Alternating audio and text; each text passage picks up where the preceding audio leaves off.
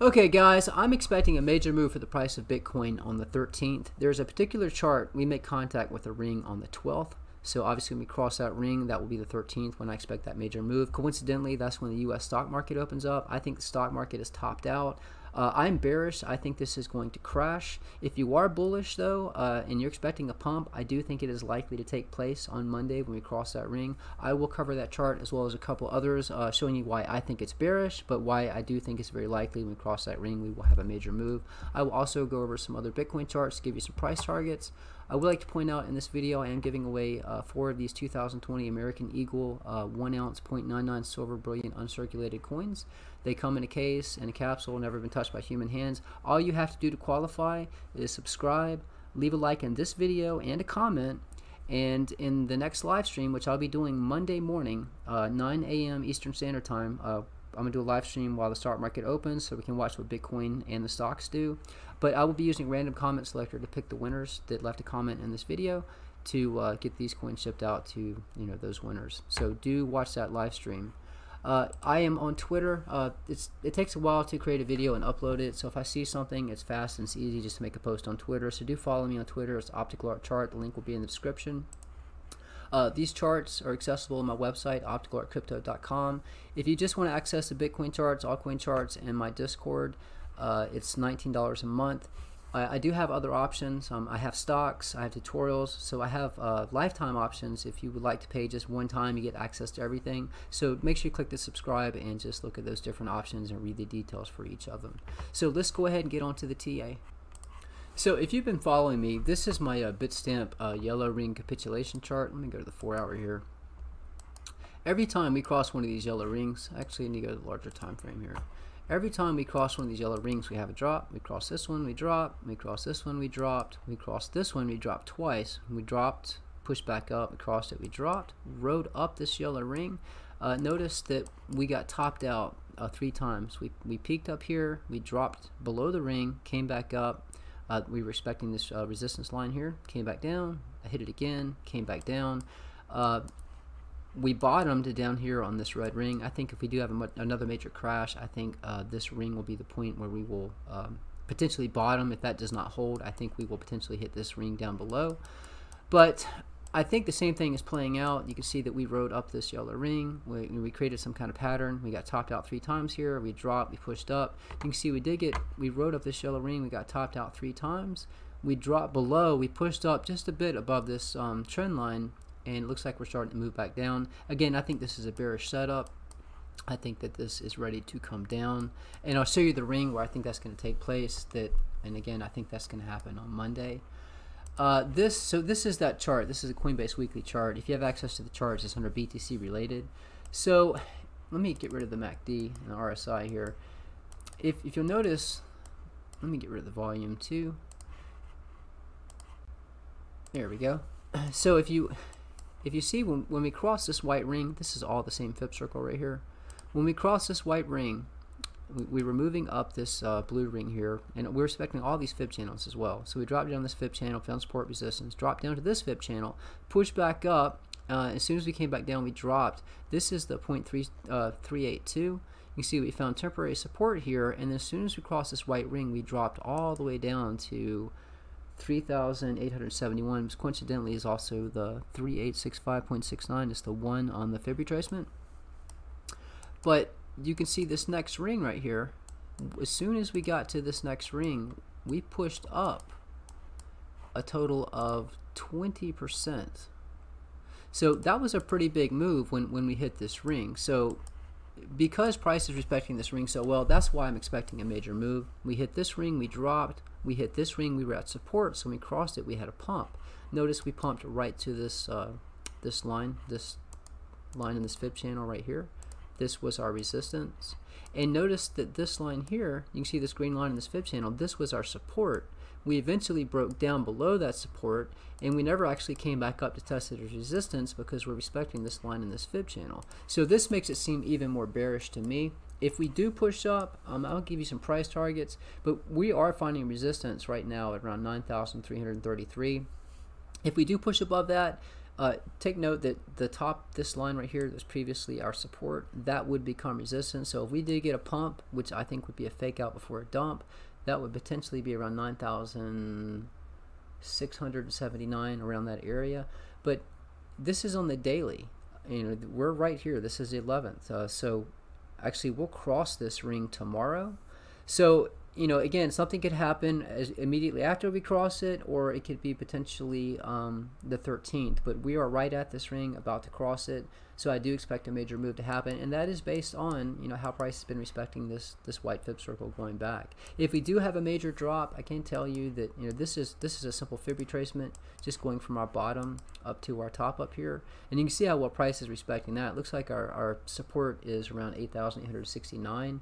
So obviously if we drop below that, uh, the golden zone, the 0.618 is right here around 6400. I think everybody and their mother and their brother will be buying at that point. So if this does have a really major drop, uh, I, I will be buying at this point because it'll be self-fulfilling prophecy. Everybody will be buying here. So I I don't think we'll be recovering. I, I, think if it does drop that far, it will be short-lived.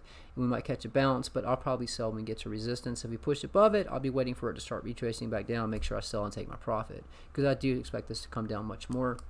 Again, though, if you're bullish, when we cross this ring, it's possible we pump. I'm going to show you why I think it's more bearish, though.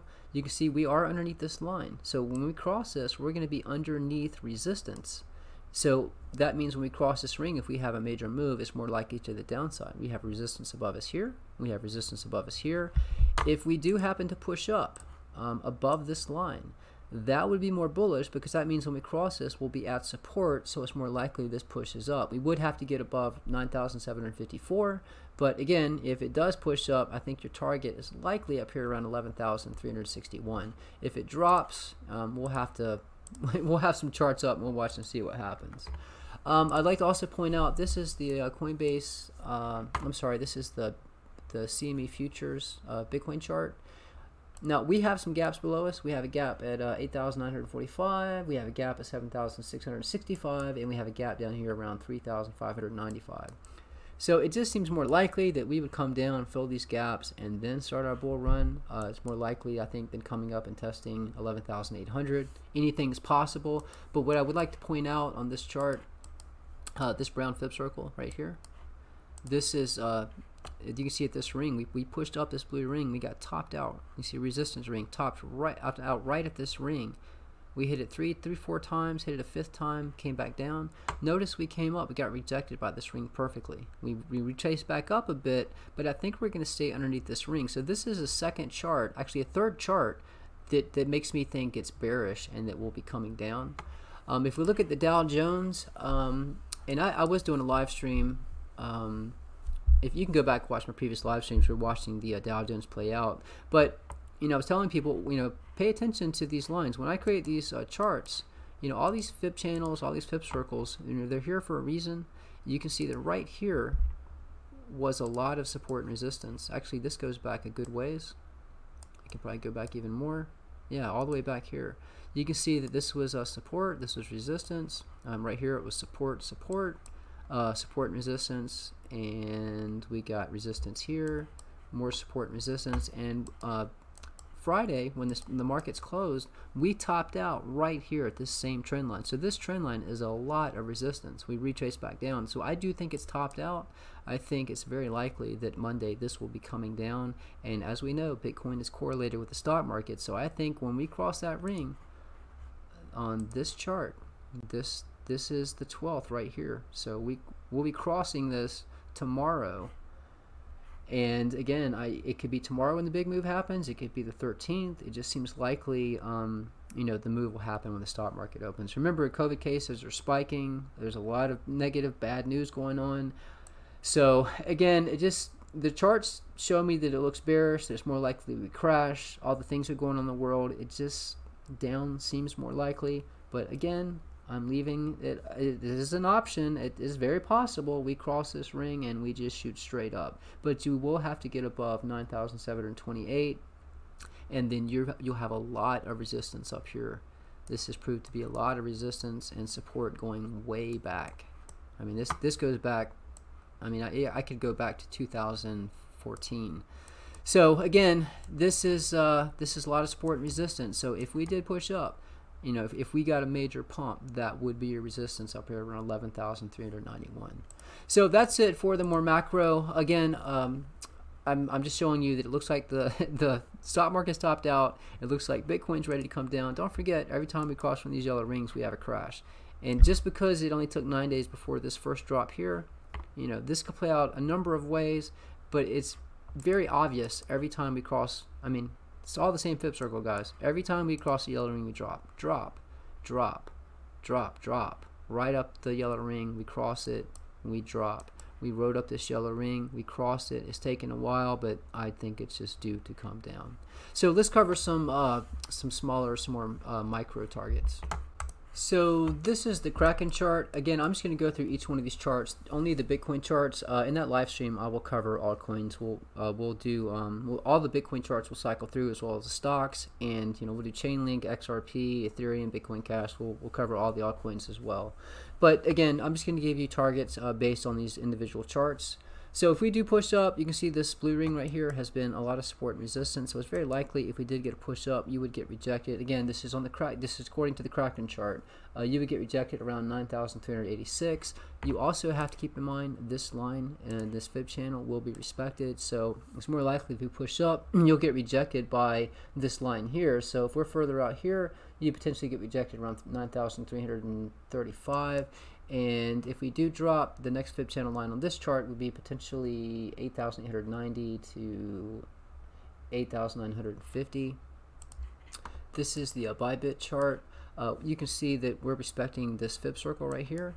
So if we push up, your target would be around 9,400. Out here would be around 9,354. You can see we're respecting this line in this fib channel as well. Um, I can go back a bit and see if we've been respecting that. Yeah, you can see we've been respecting this line going way back. And again, when you load the charts up, always look left and see how, how well a price was respecting a particular line in the fib channel and a ring. And you can see this was a lot of resistance and a lot of support. Right here we got more resistance and support. So you know that if we drop this same line in this fib channel will be strong support. So if we drop according to the uh, Bybit chart, your first support level uh, based on this trend line in this fib channel is going to be around uh, right here is 9061 out here is 9147 if we push up your resistance will be this ring 9402 potentially 9339 and you will respect this ring as well. So if we drop past this uh, support level on this fib channel you can see every time we hit this ring it's been support and resistance. So a likely target would be 8,946, um, 8,854, and we are respecting all of these fib circles, so this could be a potential target as well. This would be around 8,683, and we're respecting uh, this line in this fib channel as well. Um, you can see this blue line right here. We found um, resistance, resistance, support, support, support. So if we did have a drop, you know, right here is the 13th. So if we had a major drop, you know, you could look at potentially finding support right here, 8,038. This would be around 8,000. Where these two uh, lines intersect is around 7,881. So again, it's always good to load up different charts to get an idea of potential um, support and resistance. This is the uh, Bitstamp 702. Um, you can see currently we're finding resistance underneath this uh, line in this fib channel. Uh, we did we were finding support, now we're underneath it as resistance. Um, this is the 13th, so if we did push up, uh, again, same thing, just always zoom out of a chart and look and see if price is respecting that line. And if it is, you you get pretty sure it's going to respect it again. You can see we found um, resistance and support on it, and then right here we came up as perfect resistance, respecting this uh, this ring as well. Moved down, came back up, found perfect resistance again, pushed back down. So if we push up, uh, likely resistance level 9,353. You can see how some of these numbers are matching up the other charts, other exchanges. Right here would be around 9,385. Uh, if we have a drop, uh, again, these fib channel lines just look left, but if we have a drop, a potential target 8,971, uh, 9,021. We'll be respecting these rings as well, but your next fib channel line below is around 8,774. Again, I'm trying to blow through these really quick. Uh, this is the Binance 2.0 chart. You can see we've been respecting. Um, we haven't come up and tested. Actually, let me go back a bit. So we were we have been respecting this white fib circle. You can see that we've been respecting. Um, you know, we pushed we pushed all the way up. We we pushed we wicked up. We came back down, found perfect resistance at this white ring. Um, and we created a BART. We dropped back down, and you can see we're finding a lot of support and resistance on this white ring. Pushed up, didn't quite make it to this ring, came back down as perfect support, perfect resistance. And then you see we, we wicked all the way up to this line in this fib channel. Again, these fib channels are very accurate for um, tops and bottoms. And we, we wicked right back down to this, this ring. And then we pushed back up to this line as resistance. We, we were finding support on this ring. Drop below it. You can see this next ring down. Again, this is the same fib circle right here. You can see as soon as we dropped down, we found resistance, came down to support, uh, more support, dropped below it. So we've been respecting um, this ring right here. So we drop down, support, support and resistance. Uh, we haven't dropped that low on this ring yet.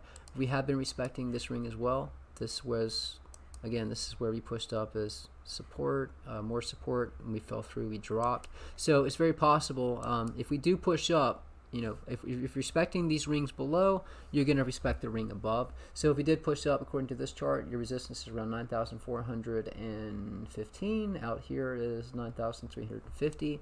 If we drop, uh, your support is going to be not only this ring, but this fib channel line as well. So this would potentially be 9,054 to 9, uh, this 8,960.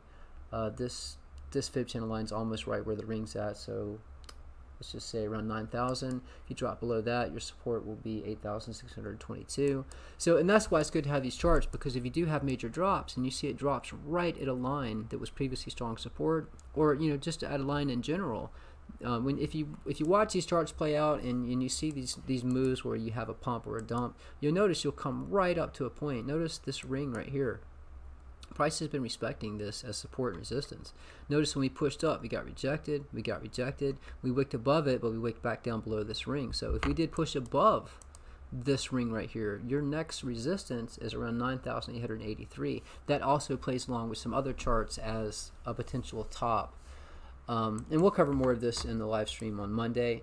Uh, this is the Bitstamp 2.0 chart. Currently, we're resistance at this trend line here. Let me kill this um, this ribbon. So you can see this line has, has proved a lot to be a lot of support and resistance. So we have to get above, I mean you can see this has been support and resistance going back a good ways. This was uh, resistance, resistance, and support, support, resistance. So if we push above um, 9,243, your next resistance is right here where we had previous resistance. So if we push up, your next target would be 9,430. Uh, if we drop down, you see we're respecting this um, fib circle here. So, you know, we, we found support here, we found resistance here. So if we drop straight down, potentially 8,995, let's just call it 9,000. Out here would be around 9,121. Um, and then your next fib channel line below. And if you go back, you can see price is respecting it. You just have to go back further. But again, these fib channels are based on previous fib channels. That's how I know that price will respect these on the way down and the way up, even if they have not been tested yet. So your next support below is around 8,813. Down here is around 8,526. This is the Bitstamp BTC 32120A. Uh, you can see that we are riding right down this ring. Uh, we pushed above it, we found support, drop below. You can see we're respecting this trend line here. Um, and it seems like we're just, again, we're just riding down this ring. So if we stay below this ring, obviously it's going to keep pushing us down. If we push above it, then we'll come up and test this um, resistance at 9,248. This is the Coinbase BTC USD. By the way, I do have a BTC um, Euro. If you um, if you're uh, trading in Euro, I do have that chart available. So it's a it's a version of this recreated in Euro.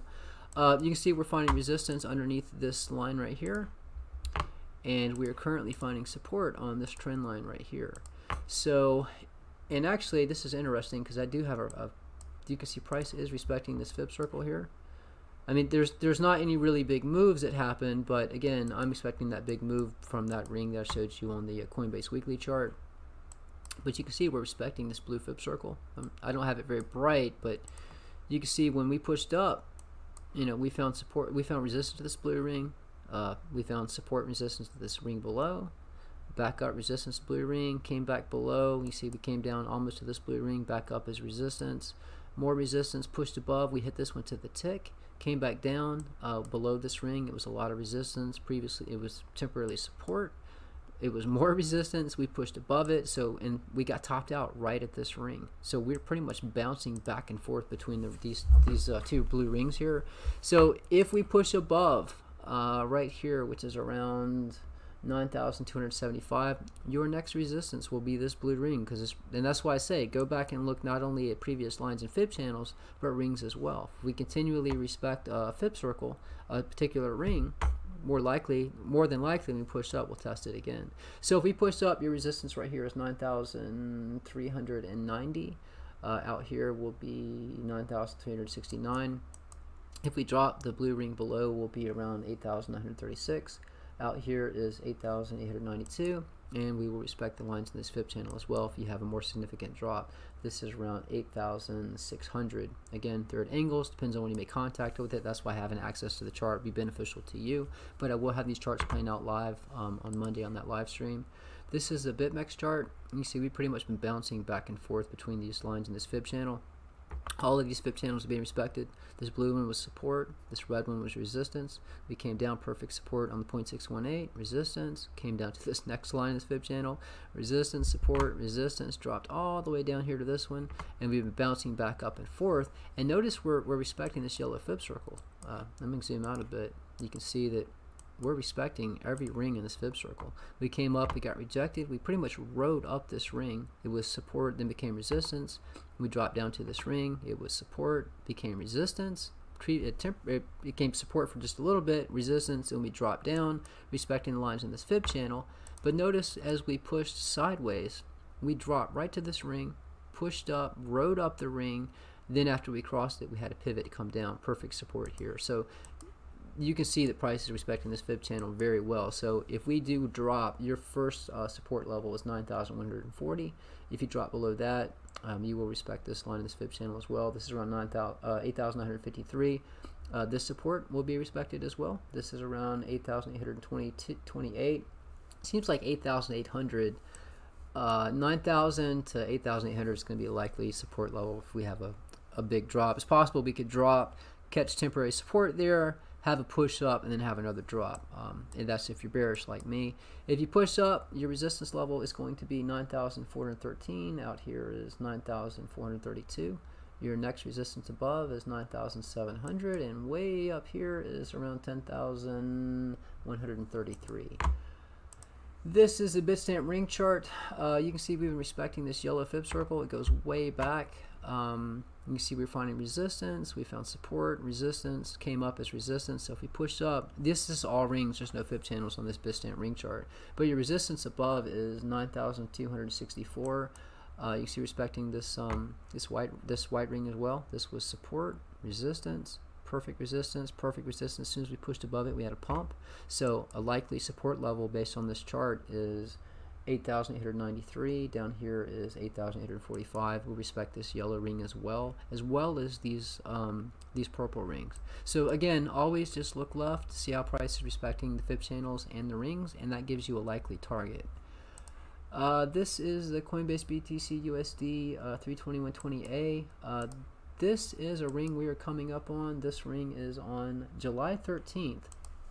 And you can see how well price has been respecting this fib circle. When I find multiple charts um, that have fib circles that we'll be making contact with on the same day, that's more confluence for me for a potential big move. You can see right here we had a pivot at this orange ring, we had a pivot at this ring, price respecting all these rings inside of this these these center rings. You see this was um, support, this was support, perfect resistance, this was a pivot, we got topped out here, dropped back as support, resistance became support, and right here, um, it wasn't much of a move. We kind of came down and pushed up, but we are approaching this next ring. And coincidentally, we make we make contact with that ring on the 12th, and then we cross it on the 13th. And this ring is possible. This could push us down.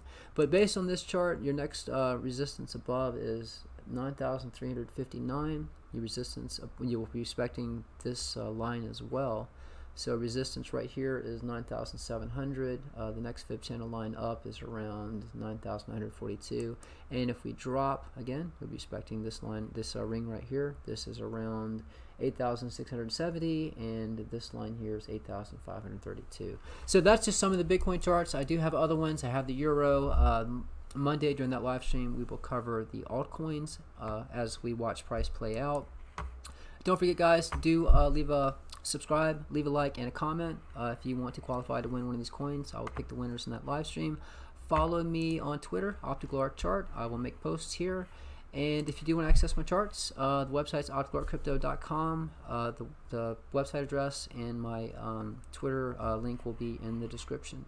That's it, guys. Until the next video.